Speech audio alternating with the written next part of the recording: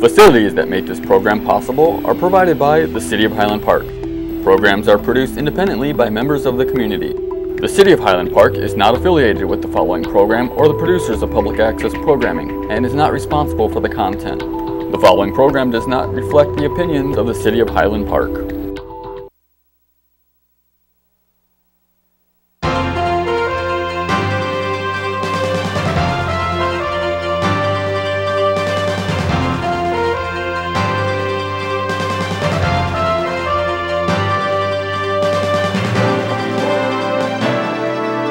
Hello and welcome to Cahnmann's Current Events Roundtable. Our show is brought to you in part of the delicious Bluegrass Restaurant in Highland Park, uh, where they have amazing food and great service. And we had a delicious, delicious lunch. And I want to thank for before we start our show to our great director Larry Byer, who is always a wonderful director to our show, and our wonderful crew today, Ron Levitsky, Irv Walinka, and Julian Martinson. And now I want to introduce a marvelous guest. He's Professor Boaz Johnson, Professor of Biblical and Theological Studies at North Park University in Chicago, who wrote an amazing book called The Marys of the Bible, the original sorry to say, Me Too movement. It was a, a book, uh, Boaz, it was a, um, a book that I, I never could imagine uh, what I read. I was kind of shocked by the contents of the book and relating it to what's going on today, the Me Too movement, uh, what's you know happening with uh, you know the, the Harvey Weinstein of you know film and studio, the Jeffrey Epstein human trafficking young girls. Uh, you know, into into sexual slaves, and I, I just unreal. I mean, I, thought I was reading something that was happening today, and you wrote a lot what's happening. It was then, and it, you know, if you look at the Bible, if you really study the Bible, you, you could actually hear and see what happened yesterday is happening today in many different things of the Bible. You know, women, slaves, all that stuff, and um, oh my God!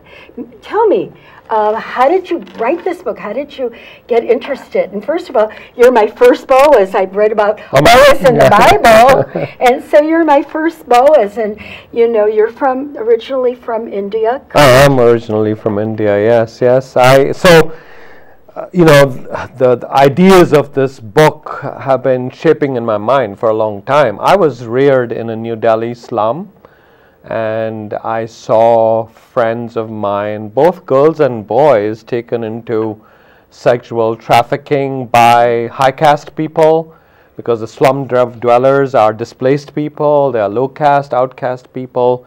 As soon as girls got their first period, they were shipped off by high caste people into sexual slavery and and then I went on sabbatical um, last year, um, a little more than a year ago. I went to the Kakuma refugee camp where there's 800,000 people uh, in one camp um, and heard very sad stories.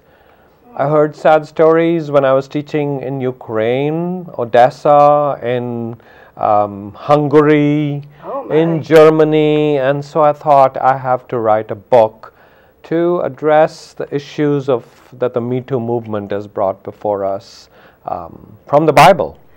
So you you got interested. So you you were all over. You you taught in many. Did you did you have to learn their language too? Did you learn German and or did you you know in different places like Russia, Russian and you know Ukraine? Did you learn some of their languages too? Did you have to speak it, or you just spoke English uh, mostly? Uh, I can teach in German, I can speak French, read French, uh, but not all of these places. Mo- most of my lectures, like in Ukraine, was uh, translated by a translator, um, uh, or Portuguese in Brazil. Um, but uh, and I would usually teach in English. That's my preferred language of Mm-hmm. teaching because I cannot use, I can speak languages, but I can't use technical terms in I- those languages. Right, right, right. And so, um, you know, so what made you write the book? You know, how is it, you know, related to, like you said, you came from the, the, the areas in India that, you know, you saw women getting raped? Yes, yes. Um, and it was very painful i'm sure it was a very that's a very painful memory knowing what was going on and you know most of us don't even know things are going you know we, i guess maybe living in the united states we live in such a sheltered environment you know you hear of things like i just saw you know there's a lady um, which I, I saw it, you know, the, in the paper. I was just reading, uh, at, you know, in the Chicago Tribune about a uh, oh, one of the um, what's her name? Mary McKellen, by the way, Mary. Mary, Mary Mary, McKellen. Yes. interesting because you're talking about the Marys of the Bible. Yes. And Mary McKellen is running for she's running for judge in Illinois, and they're referring to her as how the the word whore shapes a judicial race. They're calling she apparently had a child out of wedlock, and they're calling this poor lady that's running for office. She's running um, amongst other people. Yeah. They're calling her names like whore, and I, you know, I, I made sure that we could say that word, uh, you know, on public, you know, television, you know, but uh, it's not it's it's not public. It's um, uh, access. You know, we public access. public yeah. access, and my director said, "Go ahead and use it." So Mm-hmm. I, I'm using it, but I, it's such a the word is very traumatic to me. And how could they do that? How could they call this woman that name? And yet, in I'm reading every chapter from all these different, you know, in from the Bible, and this is what they, you know, I, I just want to read something from one of your uh, conclusions. Sure. It says the Me Too movement is a powerful reminder of the abuses faced by women in our society today. In this book, I have tried to show that these abuses are global and have been global issues throughout history of humanity. Sadly, ancient religions have been the basis of the abuse, and it is true of modern religious and modern secularism. And oh my God, you know, uh, it, it, tell us a little bit about that and, and why you, you know, refer to as the Marys of the Bible.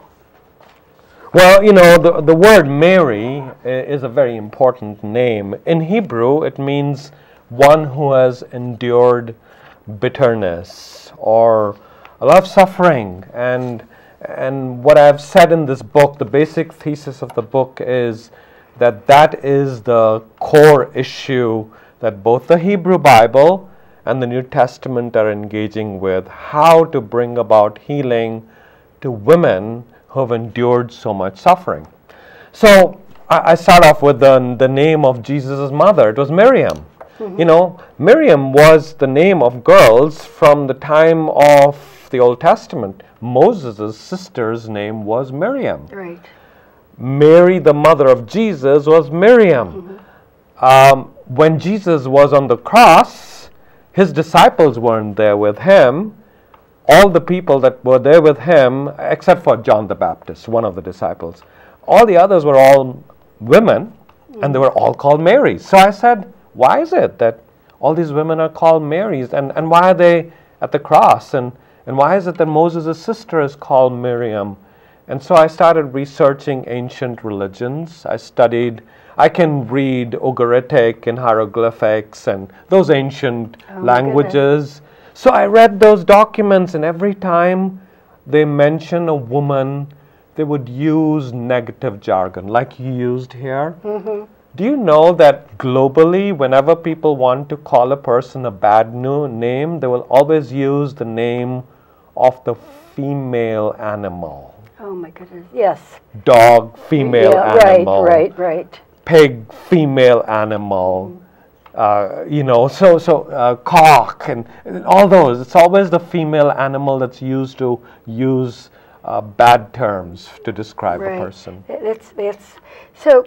So that's why the Marys of the Bible. That's how you started. Actually, I found out that my own middle name, which is Maris, Oh, yes. is from Mary. Okay, So yes. You're sitting with uh, uh, somebody with the same name. Yeah. Yes. yeah. And unfortunately, you know, women globally have gone through very horrible experiences, and that's what the Me Too movement bring, brings before us. I teach at a university, and I know that at a university, so many women get raped, and usually it's in the first semester of their university experience. And when you say they get raped, they get raped by somebody at the school? They get raped by uh, somebody they know usually. Usually, it is someone they know, someone they've just befriended. Usually, a, uh, you know, a junior or a senior at the university, and uh, it's horrible. It's horrible for a woman to experience that. Unfortunately, you know, abuse of children is a big issue globally, all over the world. Uh, Yes, it- and, and it's, it, you know, you say this, you know, sadly, most cry, through history, violence between brothers or cousins, women and girls who bear the brunt of violence, sexual abuse also happens in the hands of their neighbors, their bosses, their colleagues, and like. And, um, you know, you, you mentioned that God hears both kinds of cries of women. Um, why does it why you know when it, we talk about you know in the bible and god why did god allow it to happen? You know the sufferings and why did it you know i know that during you mentioned during the lord came down sodom and gomorrah this is why it always comes down to history. He sees he hears and knows the cries of abused women. And that's something that you wrote Yeah. Uh, throughout the Bible, what I've seen is that God hears the cries of women. So Sodom and Gomorrah, you mentioned that story. In in Genesis chapter 18, God comes down, and Abraham, the patriarch of uh, uh, the Pentateuch, uh, the Torah, uh, the Jewish people, uh, God speaks to Abraham and he says to Abraham, I've heard their cries. The word that is used there is the same word that is used uh, later on when God hears the cries of his people in Egypt. And he says to Moses, I've come down to deliver them because I've heard their cries. Who are these cries? These are cries of girls and boys being raped, like Moses' sister, Miriam. So you said, but you just mentioned boys too. Boys too, raped, yes. And that was happening during in Egypt. I think you were mentioning uh, Egypt, and that the boys were used, you know, by the um, by the uh, priests of the Pharaohs, and pharaohs. yeah. And th- that was a traditional thing. They would they would have parties, and they would use young boys for dancing, and afterwards they would rape them. You read about that in Sumerian literature in Egyptian literature, where it was um, something that had to do with their power. That's how they they said they're powerful because you people who are enslaved, what you can can you do about it? We have the power to rape your girls and your boys, and you can't do anything So, about it. so rape is not really for pleasure; it's for power. Mostly throughout history and even today. You know, think about the Me Too Right. movement. What's Right. it about? Why are these people like Harvey Weinstein and others? Jeffrey Epstein. Jeffrey Epstein, yes, these are people who have power, they have money. Yeah, and they're and they young girls, and they and they bring what they do bring, like with Jeffrey Epstein, he brings brought young teenage girls. Yes, yes. And with uh, with Har- Harvey Weinstein, he brought he brought um, young female starlets. You know, young women that wanted to be into. They wanted to get into film. They wanted to get into plays, and he was very powerful. And he used his That is true, and it's always been Yes, like that. He, he didn't. In fact, they talk about it. He didn't make love to him. They kind. He, he kind of abused him. Yeah. He, he wasn't gentle with them at all. He was very mean. Most of these rapes are not about gentleness and uh, love, and No. you know, it's it's about power and you know, who can be more powerful. Yeah, how can it be? This is not love. This is lust, lust for power, greed for power, and abusing that power. Um, you know, the very first story in the book of Genesis is Genesis chapter 3. And if you ask an average person, the average person will say that, oh, it was Eve who disobeyed God. You know, it wasn't ate- Adam. Because she ate the apple. Yeah, she ate the apple, but they, they don't read ancient literature. I wish people would. Because this has nothing to do with the apple tree. It was, if you read Sumerian religions and Egyptian religions and Indian religions, ancient Indian religions, it always had to do with a fig tree. The, The fig tree. the fig tree. And the Okay. people would be given a drink. The girls would be given a drink from the fig tree, an intoxicating drink. And then people like Pharaoh and the priests would rape them. And usually it was a virgin. Wasn't that uh, what's his name? Bill Crosby. He before he raped his victims, his Yes. girls, he gave them a drink. He gave them something to intoxicate them. Yes, The yes. same thing. And here was a man that we people used to watch his shows and think uh, so highly of him. Yes. And then we find out that he was intoxicating young women. I mean, women that would go up to his apartment and they probably could have. He could have had these women without doing. I mean, he you know being loving and everything. They you know and have girlfriends. He didn't have to you know abuse them and intoxicate them. So it had nothing to do. Then you think about it. Why didn't he do that? But then again, listening to you, I understand it had nothing to do with loving them No, and having at all. Not girlfriends and having a romantic relationship. It had something to do with power. It did. It always has been the case. Romans, the Assyrians, the Persians, they raped women wherever they went and conquered places. They would take girls and rape them because rape was a method of war. And that's what they did during the time of Jesus as I was well. just wondering why they, you know, they didn't hide their daughters, knowing, you know, the mothers and, you know, why did they hide them? There was nowhere to hide them, was it?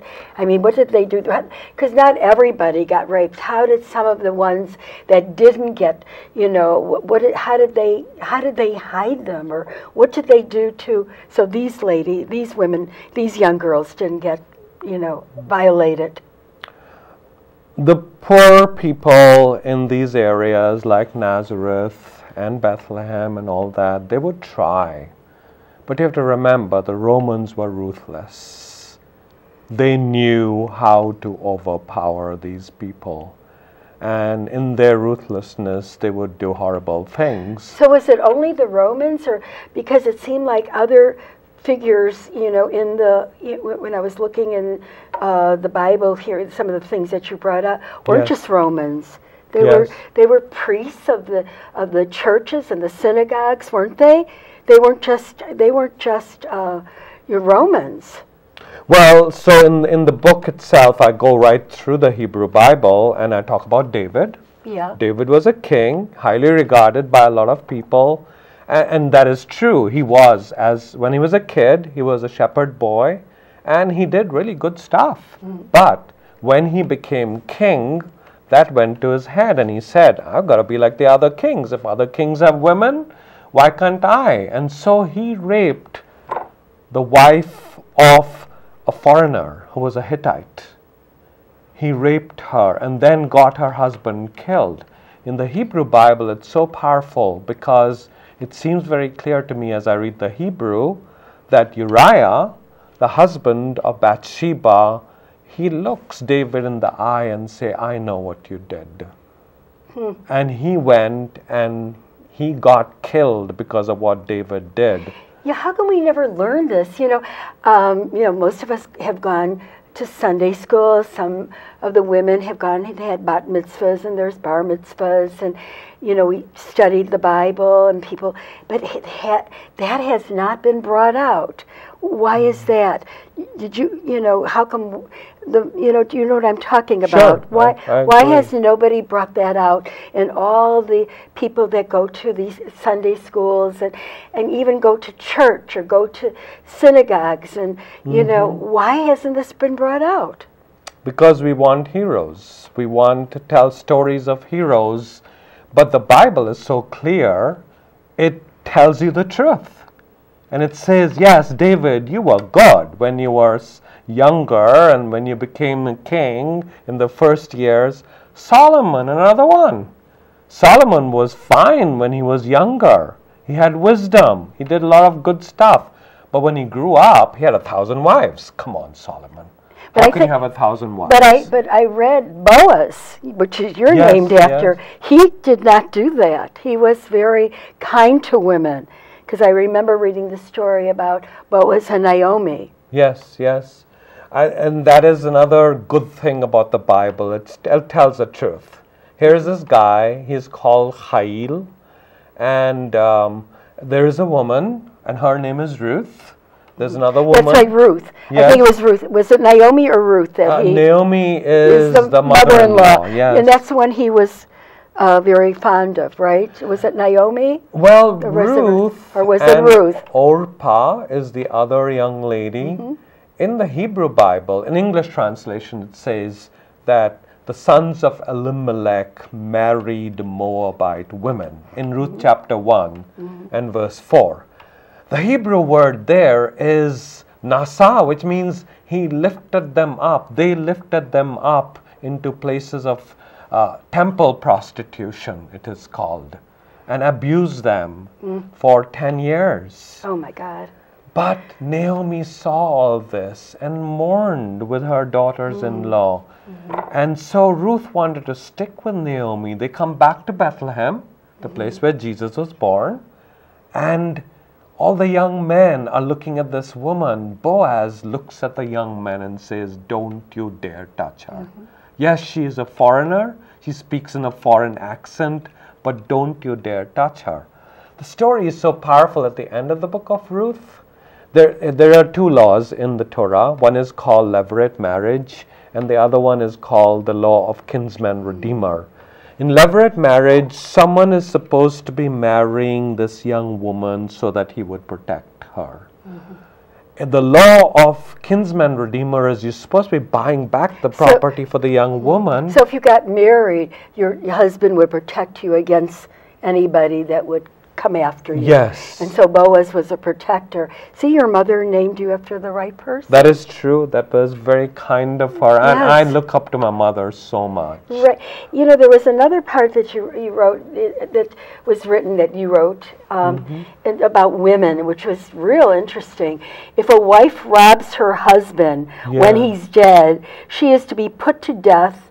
The receiver of the property is to be put to death. If a husband is alive, he may punish his wife as he likes.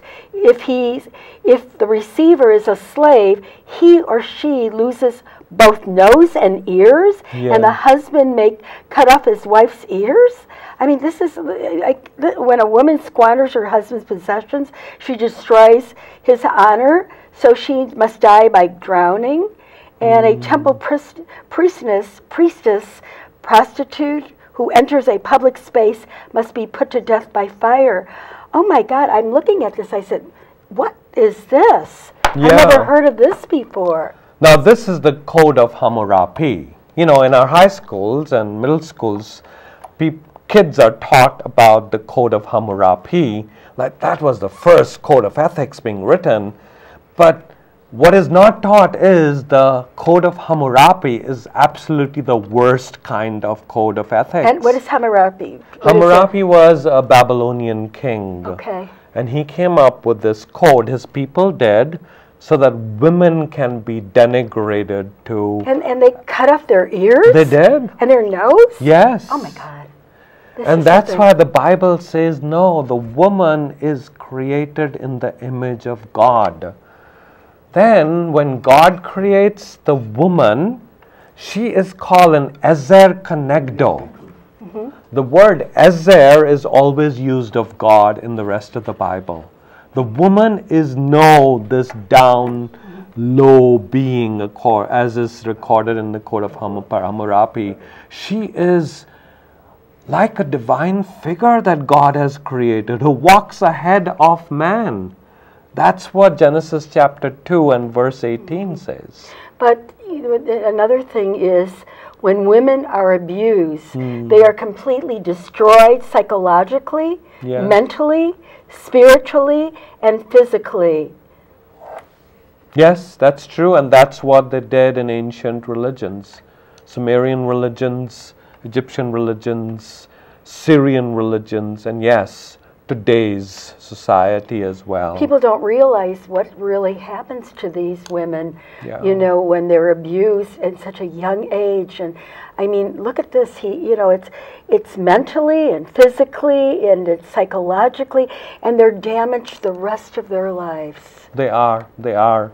When I go back to India, I work with an organization that rescues women from sexual slavery. And when I first see them, you look into their eyes and you see nobody because they've been destroyed. This is, uh, by the way, I just want to show our viewers. This is an amazing book, and it's called The Marys of the Bible. And it's the original Me Too movement. And, and it's written by Boaz Johnson, Professor Boaz Johnson, Dr. Boaz Johnson. And um, it's, uh, it was, it's beautifully written, and it's, uh, it tells the truth. It tells things that nobody else nobody else taught us in school before. And I understand that you're read that you're also writing a sequel to this book. I am because there's only so many women I could talk about in one book. There's so many more. There's Esther. There is uh, uh, the women ha- called Hagar during the time Oh, of Hagar, Abraham. yes. So I want to write a lot about uh, other women in the Bible Mm-hmm. from whom we can learn. Yeah, that people know about more, you know, Esther, they hear of Esther, they hear of Sarah, they hear of Hagar, you know, these are some of the names that we hear more, you know. Yes, Yeah, I mean, we, we've learned about Ruth and Naomi, but there are, you know, the, the names that you're talking about now is another, you know, so the sequel will be uh, similar to this, and uh, is there going to be something new that you're going to be looking at? Well, I'm looking at a lot of, uh, one of the projects I'm working on is this, the poetry of women that have come out of sexual slavery. It's so powerful to see their thoughts. It's like Lamentations and like Song of Songs.